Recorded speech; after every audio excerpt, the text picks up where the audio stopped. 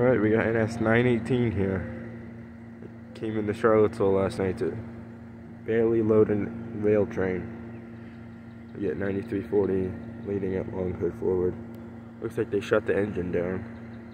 I know there was a train that came here, a rail train last year, sat here for like three weeks and they left the engine running the whole time. The train didn't even move at all. So it looks like this time they decided to shut it off. Here's the boxcar. Southern Railway boxcar, barely noticeable.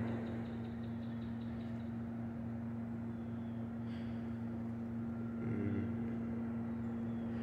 There's the rail. You can't even see the rail. It's just on the bottom. There's only like three pieces that go along the whole train. Review the other end, side of the engine in a second. Here's another view of 9340. The other side's definitely a better view, but I don't think there's anywhere to stand on the other side without being trespassing or getting it. I know there is one spot I can go, but I think it's gonna be a distance shot.